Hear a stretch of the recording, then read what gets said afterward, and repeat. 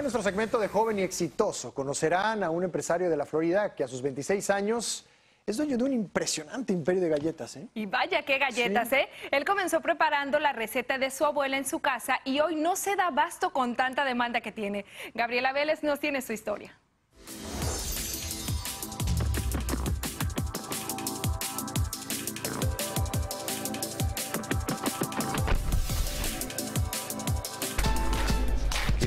Que tiene buen día. A los 20 años, Andrew González decidió dejar la escuela para poner un negocio de galletitas. El concepto era simple. Hornearlas por las noches y repartirlas aún tibias por encargos. Todo el mundo creía que yo estaba loco, yo quería ser galletitas. Crear su negocio no le fue fácil. Yo fui a tanto banco, nadie me quería hacer un león porque yo tenía 20 años, yo no tenía dinero, yo no tenía un casa, un carro, nada de eso no se trata de cualquier galleta. Estas vienen en divertidos colores y con sabores inesperados como oreos triturados y cereales, creaciones que tienen origen en la infancia y en la influencia cubana de su creador como esta que lleva el nombre de Ave María. La Ave María tiene guayaba, queso crema, galletita María y queso crema por arriba. El joven también se las ingenió para incluir tocino en algunas de ellas, así como lo escucha.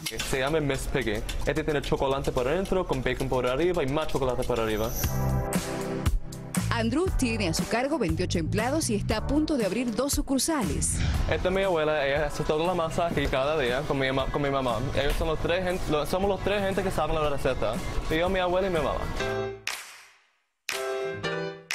Y como si fuera poco, fue escogido por la revista Forbes como uno de los 30 empresarios triunfadores menores de 30 años.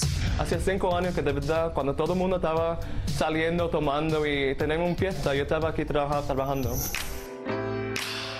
Definitivamente, el duro trabajo rindió sus frutos con el dulce sabor de ser otro joven y exitoso.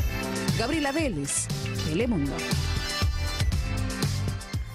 Se me hizo agua a la boca y es que Gaby nos trajo galletas a todos. La de tocino es la locura, la locura. Que aunque suene raro, dices que es deliciosa, ¿verdad? Es deliciosa. Imagínense ustedes que Andrew asegura que produce 3.000 galletas al día en sus cocinas, pero la demanda por sus creaciones no le alcanza. no, claro, yo ya quiero ir a probarlas porque se ven deliciosas. Y aquí está la clave de su éxito, porque él dice que escuchó a tiempo la voz interior y fue ahí donde se lanzó para poder realizar este sueño que tenía y fue justo en el momento adecuado. Dejó a un lado las parrandas y ahora es todo un empresario. Exacto.